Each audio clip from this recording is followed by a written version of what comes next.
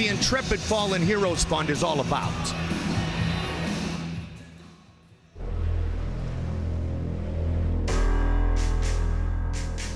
The Intrepid Foundation, it, it, it's hard to describe it as a thing. It's really a force whose mission is to remind people that if you send people to defend your country, you need to take care of them as if they're all heroes. The Intrepid Fallen Heroes Fund has been at the forefront of helping treat one of the most devastating injuries of modern warfare, traumatic brain injury. TBI is a traumatic brain injury, and essentially that's when biomechanical force is imparted to the brain and creates an injury. And it can be a physical injury or it can be a functional injury. The symptoms of traumatic brain injury include anxiety, depression, forgetfulness, bizarre behavior, and we believe that the military personnel deserve the same level of care and treatment and concern that a civilian would experience if they decided they needed help. And the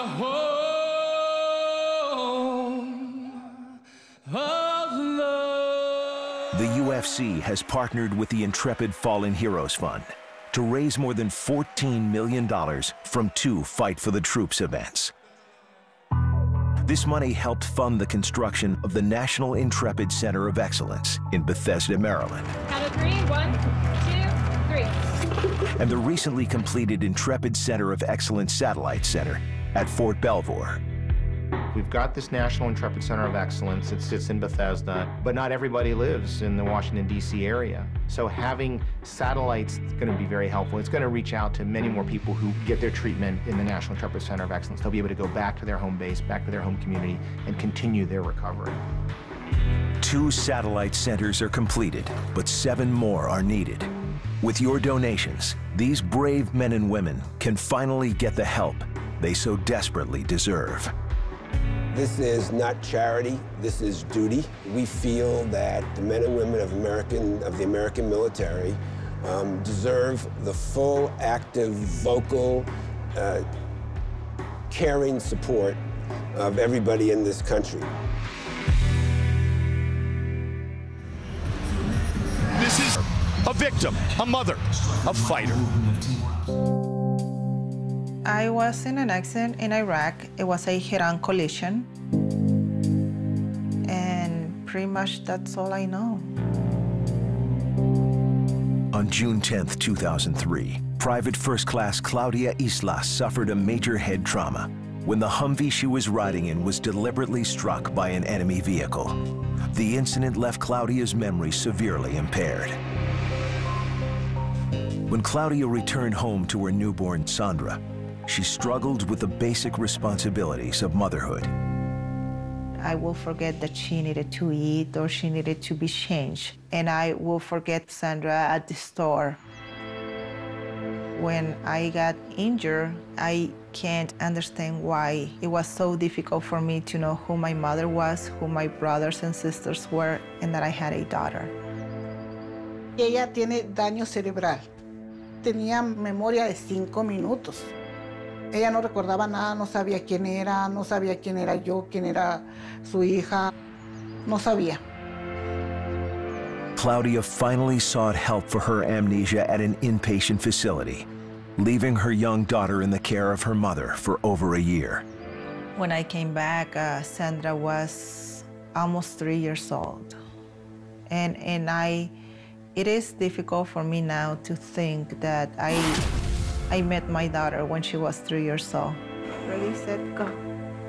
We were able to rebound together as mother and daughter, and, and she is very close to me, and my children are the best blessing that I have had in this world. Now, with years of treatment, Claudia has improved dramatically, but still needs some assistance. I will set up my cell phone all the important things that I have to remember. Jose Mario, Sandra, time to go to school, sweetie, please. You know, taking the kids to school, picking them up from school, taking them to the dentist. So my cell phone is my second best friend. With your donations, soldiers like Claudia will not be forgotten and get a second chance at leading a productive life. I don't have all the memories that everyone can have, but you know what? I realize that every case is unique, but if it's in your heart to recover and, and you keep a positive attitude, you can achieve what you are aiming for.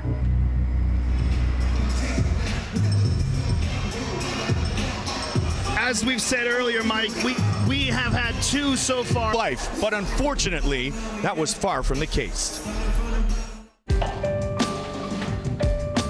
It does get frustrating, uh, you know, that people will look at me, you know, and they'll be like, oh, you're fine, man. You don't struggle. You don't have any issues. And it's like, well, if you came and lived with me for a week, you'd realize that I probably sleep for two hours a night and I'm in consistent pain every day. On January 19, 2011, Army Staff Sergeant Spencer Milo was on foot patrol near the Afghanistan-Pakistan border when a suicide bomber detonated his explosive vest. My entire body felt like I had got hit by a train. Although Spencer was hit with shrapnel, he did not appear to have a serious head injury. When he came home in spring of 2011, you could definitely tell he wasn't the same. He had a lot of anxiety. He was frustrated a lot more. You know, he would at the you know snap snap of a fingers, you know, something would just make him mad. I had seizures, lots of memory loss, a lot of cognitive issues. Um, my balance was off. The migraines were just out of control. When local treatments were exhausted, Spencer was sent to NICoE, the National Intrepid Center of Excellence, where he received specialized treatments for his TBI. They have all different types of treatment modalities. They have, you know, sleep therapy, relaxation, art therapy, things like that. And they had service dogs there. Service animals are just an incredible resource that I don't think enough veterans get a chance to use. Part of Spencer's treatment at NICoE was the adoption of a service dog that will bark if Spencer has a seizure. Just having him with me in air, you know, crowded areas and stuff, he helps me feel calm because I'm focused on him. Uh, he helps me sleep a lot. My nightmares have not gone away, but there are less of them now that he sleeps with me. I'll never give him up. I mean, he's uh, as much of a piece of this family as anyone else. When he came home from NICoE, it was nice to see a little bit of the man that I met back in 2007 back. And uh, once we had Zoe, she definitely changed him. Thank you. Did you fall? I always wanted to be a dad, but I was scared to death of it after this injury. I was really afraid that emotionally I wasn't going to be able to connect. But, you know, honestly, all it's done is just given me a new reason to, to get better. I really think people need to start paying attention to some of these invisible injuries because there's so much of it out there. If they're not brought to the front, you know, no one's ever going to take care of it. Uh, the stories are amazing, but they're true. And that's why we need your help at UFCFightForTheTroops.com or call 877 747 HERO. Moran at Fight for the Troops at Fort Hood, Texas in 2010. And now, three years later, with the support of so many, he has improved drastically.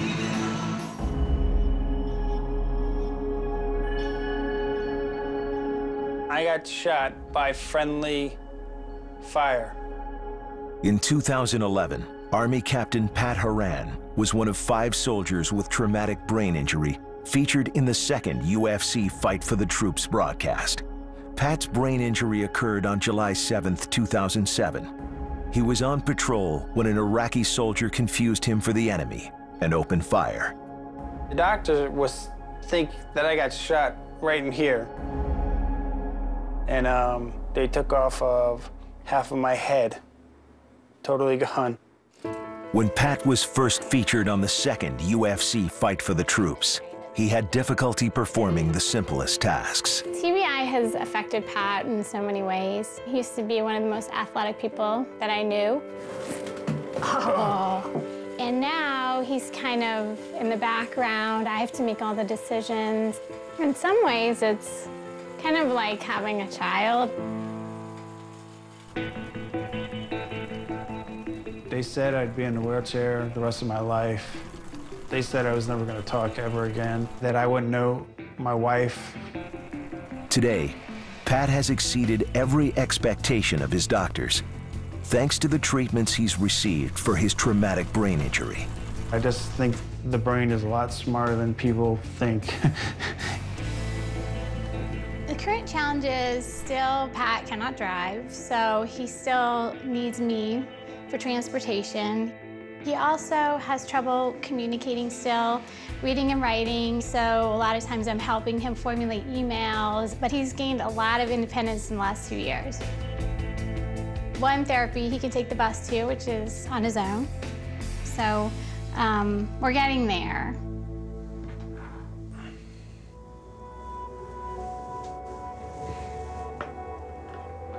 slow down, slow down. We're a team. We've always been a team. It's our life. So the more that I help Pat recover, the better our life is. Can you try it again?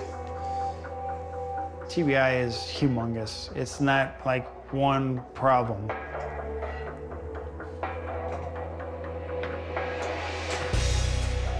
Like me, I kind of knew it because I was missing half of my head.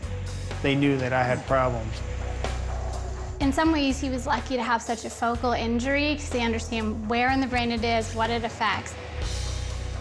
But these multiple blast injuries, they, they just really don't know how to treat them, need better diagnostics. I'll see you guys. There's just a long way to go. Please donate today and help other soldiers like Pat recover from TBI. It's real as we sit here amongst the brave men and women. I guess you'd say I just cheated death. I, I don't know how else to put it. On December 27, 2004, Army Staff Sergeant Todd Damaris was on combat patrol in Iraq when his Humvee struck two IEDs, pummeling the vehicle with shrapnel. The big one hit me in the top of the head, left me with a fractured skull.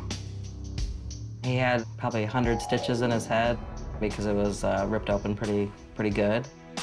Two weeks after the attack, Todd returned home to his family. I was completely helpless. Couldn't do anything by myself at all. He had severe vertigo and fall, horrible memory problems. His head was pounding 24-7. It was very challenging. In time, Todd's physical injuries healed, but it was clear to Marty that Todd was still struggling with emotional and psychological problems. He'd lock himself in a room for 20 hours a day and do nothing. Um, our toddler would knock at the door and dad-dad, and dad-dad never responded. This was nothing like what he was before. I was crying and pleading with him, I really think you need to go talk to somebody, I'm really concerned.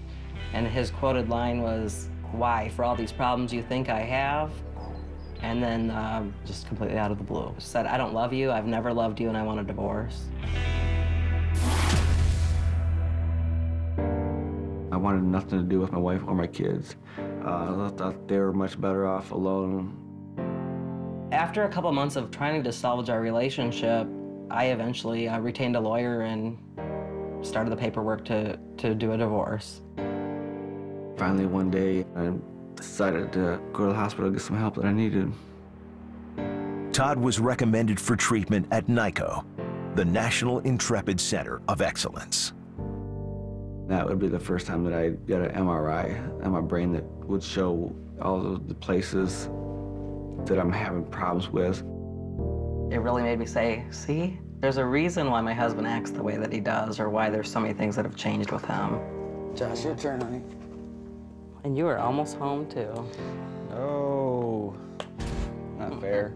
Eventually, Todd and I started communicating better, and one day we just decided that we're gonna make things work, and we actually burned the divorce papers. Although my husband's story is unique to us, we're not special. We're just one family, and he's just one service member. There are thousands more service members out there that need the same type of help that NICoE can offer. I'm joined by the vice chairman of the Intrepid Foundation, Marty Edelman. And Marty, you see the story of Todd Damaris, his wife talking about that it's not just them, they are just one of many who suffer from these severe injuries. That's right, Mike. We have thousands and thousands of troops coming home, all who have experienced traumatic brain injury or post traumatic stress.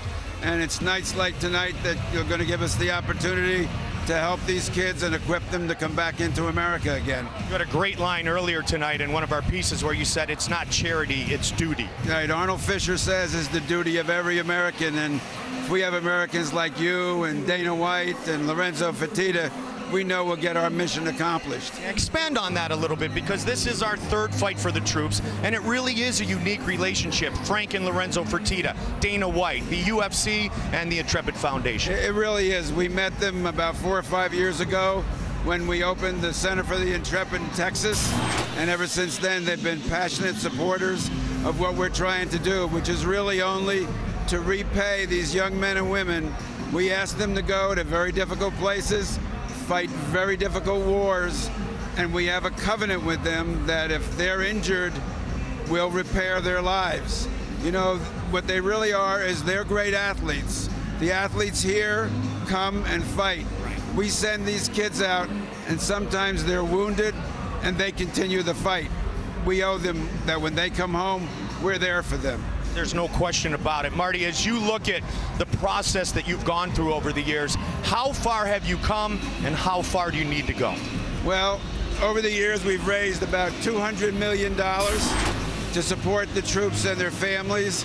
We need another 55 million to finish the program for traumatic brain injury, and then maybe we will turn all these buildings into garages. Who knows? Marty, it's a pleasure, it's an honor, and we're humbled to be here tonight to try to raise funds for your great cause. Thank you. Mike, thank you very much, and thank everybody for joining us tonight. Uh, yeah.